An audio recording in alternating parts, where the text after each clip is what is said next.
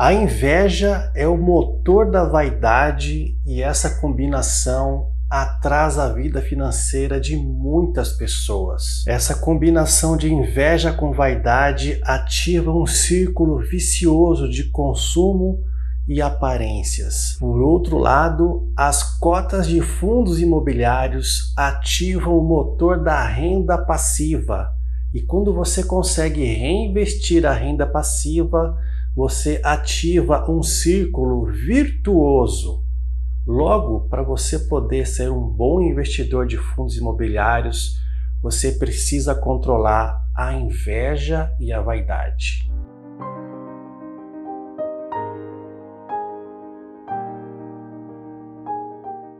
Eu já falei sobre essa temática aqui na série Filosofando antes mas não tem problema, eu vou martelar nessa verdade inconveniente que pode soar como provocação, mas é isso mesmo que eu quero fazer por você, eu quero te provocar. Muita gente não me conhece, então eu tenho que me apresentar de forma recorrente.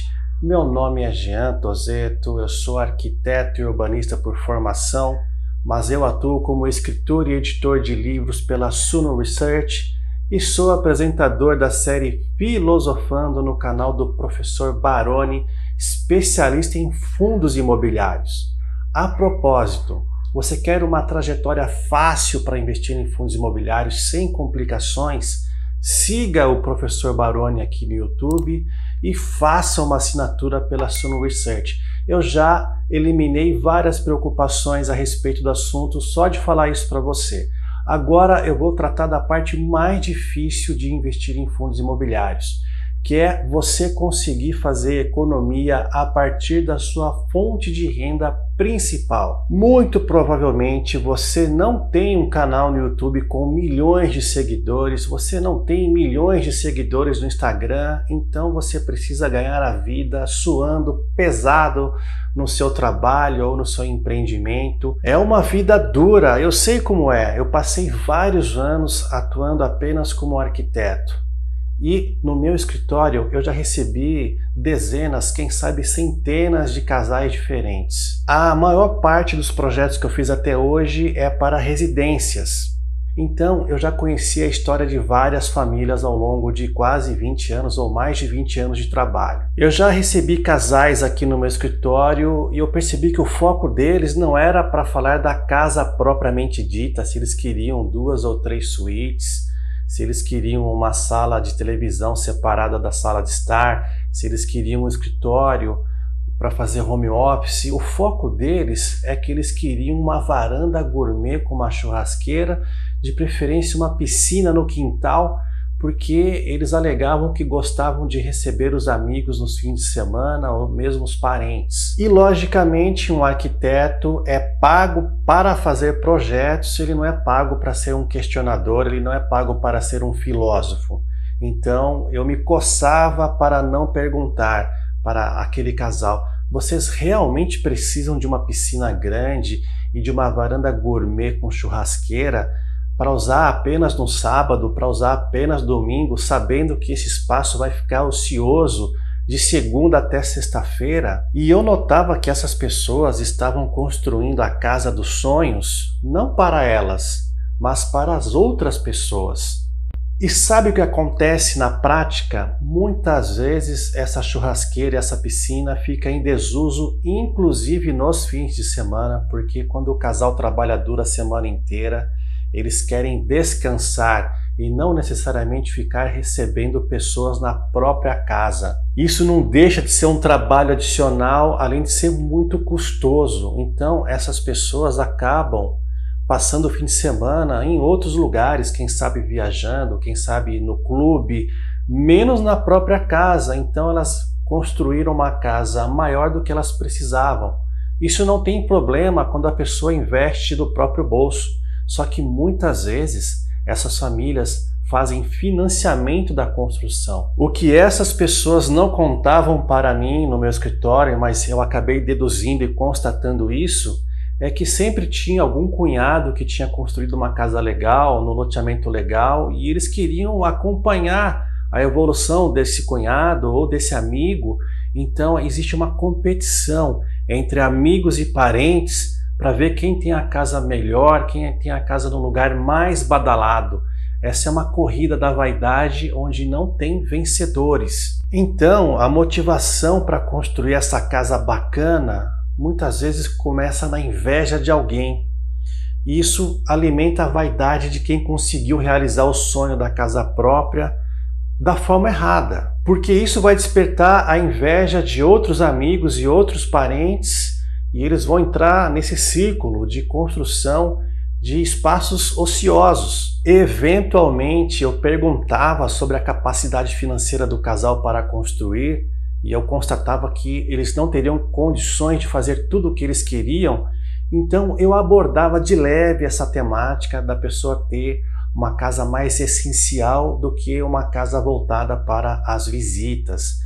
Alguns casais aceitavam de bom grado os meus conselhos, mas infelizmente eu perdi alguns trabalhos tentando ser transparente e honesto com as pessoas. Uma coisa muito comum que todo mundo me pedia nos projetos é garagem coberta para dois carros, pelo menos. Recentemente eles começaram a pedir projetos com garagens para três carros, porque o carro também é um objeto de status social. Muitas pessoas precisam do carro para ir trabalhar. Então, racionalmente, se você tivesse um carro 1.0 de quatro lugares seminovo, você poderia fazer a mesma coisa que uma SUV de sete lugares faz. Ah, mas todo mundo ali no condomínio tem uma SUV de sete lugares. Como é que fica se a gente chegar lá com um carrinho 1.0? Então a gente vai precisar também comprar um carro maior e mais novo, certo? Ah, mas não dá para comprar esse carrão à vista, a gente vai ter que financiar. Então, o financiamento não é para o carro, o financiamento é para as aparências. É a inveja e a vaidade fazendo o casal gastar um dinheiro que ele não tem. Quando você está comprometido com o financiamento de casa grande e de um carro grande, que tem um seguro alto, IPVA alto, manutenção alta, sobra muito menos recursos para você investir em fundos imobiliários ou em ações de empresas que pagam dividendos. Sobra muito menos recursos para você ativar o motor da renda passiva. Eu sei que eu estou provocando muita gente falando isso, inclusive amigos meus e conhecidos meus Estou provocando pessoas da minha família que eventualmente vão assistir esse vídeo, mas não tem problema, eu não estou aqui como arquiteto querendo fazer um projeto para você.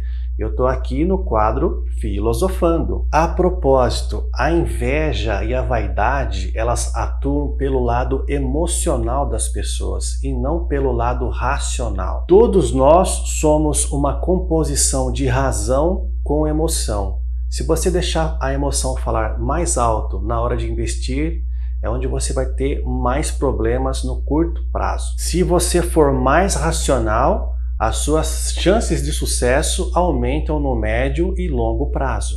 Então, não basta só se livrar do financiamento da casa maior que você precisa, não basta se livrar apenas do financiamento de um carro que é mais do que você precisa. Você tem que se livrar da influência da inveja e da vaidade, porque todo mundo sente um pouco disso no seu dia a dia. Ninguém escapa disso. Somos todos seres humanos. E eu estou abordando esse assunto me restringindo ao círculo de conhecimento das pessoas, aos seus amigos e aos seus parentes. Muitas vezes, quem está perto de você é a fonte da sua inveja que vai despertar sua vaidade. Mas se a gente colocar as redes sociais nisso, aí a coisa fica muito mais complicada, porque as redes sociais são, por natureza, um ambiente onde as pessoas se mostram perfeitas ou fazem uma edição das suas vidas porque elas estão movidas também por vaidade provocando o tempo todo a inveja em pessoas que você nem conhece. Por que as redes sociais estão repletas de haters? Porque são pessoas invejosas, elas não suportam ver a outra pessoa progredindo ou se apresentando de forma um pouco mais saudável, como exemplo para os demais. Muitas vezes isso é falseado também. Não dá para saber os problemas reais que cada um tem porque eles levam para as redes sociais apenas o lado bom da vida deles. Então, como a gente pode combater a influência da inveja e da vaidade na nossa vida? Em primeiro lugar, nos expondo menos aos ambientes propícios para isso. A gente não precisa frequentar todas as festas dos amigos, a gente não precisa ir em todas as confraternizações dos parentes, não precisamos tocar em assuntos como casa, carro, o que, que a gente está fazendo. A gente não precisa passar o tempo todo deslizando o dedo sobre o smartphone para acompanhar as redes sociais. Mas, Jean, você está falando isso num vídeo do YouTube e a Suno usa as redes sociais para chegar até as pessoas. Sim, as redes sociais têm um lado excelente de transmissão de conteúdo, transmissão de conhecimento. Tem muita coisa boa nas redes sociais. Eu mesmo consegui uma colocação na Suno mediante redes sociais. O Thiago Reis gostou das coisas que eu escrevia e ele quis me conhecer pessoalmente e isso virou uma parceria que já dura mais de seis anos. Mas eu tenho que concordar que tem muita coisa tóxica em rede social, então você tem que usar a rede social com moderação. Moderação é a palavra-chave para muitas coisas da vida. Agora, não basta só ter moderação com rede social. Você precisa ter um controle efetivo sobre as suas emoções. Você não vai conseguir zerá-las, mas você pode amansá-las. E como a gente pode conseguir isso? Eu vejo dois caminhos, tá? O caminho da religião e o caminho da filosofia. Religião é assunto sagrado e a gente respeita muito. Cada um tem a sua religião, ou as pessoas podem não ter religião alguma e também merecem o nosso respeito.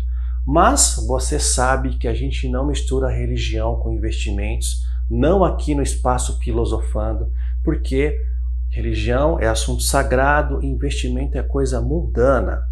Mas a filosofia não tem contraindicação. Não importa se você tem ou não religião, não importa qual é a sua corrente política, não importa para qual time de futebol você torce, você pode ler sobre filosofia sim, porque isso tem o potencial de ser muito saudável na sua vida. Uma corrente filosófica que vai te ajudar muito a entender as suas emoções e a controlar as suas emoções, porque ela vai te forçar a ter um autoconhecimento é a corrente do estoicismo. Ao ler sobre estoicismo e colocar as suas lições em prática no seu dia a dia, aos poucos você vai perceber a sua evolução pessoal, você vai se conter emocionalmente, você vai dar mais vazão para o seu lado racional. E se você levar isso para os investimentos, em ações de empresas que pagam dividendos, em fundos imobiliários, o seu desempenho vai melhorar. Porém, Deixa eu te fazer um alerta importante. Não use religião como muleta para investir melhor.